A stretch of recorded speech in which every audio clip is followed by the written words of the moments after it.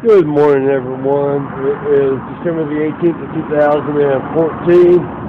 Uh, it's 10:30 in the morning. Uh, I am freezing, man. It is freezing out here. It it's turned winter. Uh, Mount, uh, Mountain Home, Arkansas, 10:30 in the morning, December 18th, 2014, and uh, it poured the rain last night.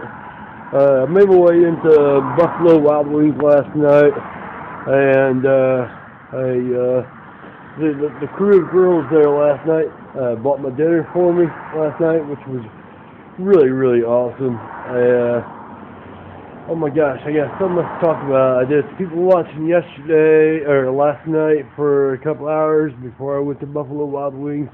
Uh, I got a $25 gift card for uh, Walmart. Uh, I had like $20 $25 in gifts given to me last night, cash. Uh, I had a $10 gift card from McDonald's given to me. I will never use it. Uh, I didn't want to hurt the lady's feelings. Um, let me think here. Uh, oh, I slept in a barn last night. I survival kicked in. I said, man, you know, I I got to sleep that's warm and dry, so right here is where I laid down my sleep my tarp my sleeping bag last night. Uh, this place here is uh, due for demolition. Uh, I've seen down the way here bulldozers and all that stuff coming in, and well, they'll be tearing this place down. This is an old farm here.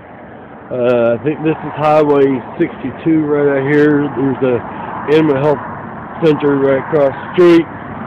Right down this way over here is Walmart, and uh, there's a shed place down there. Uh, give y'all a little view of what's going on here at this place. Yeah, they'll be tearing this place down. The old truck here probably be most likely be going to a scrapyard, and yeah, it's very unfortunate. But you know, out with the old, in with the new, and yeah, it's all about progress, right?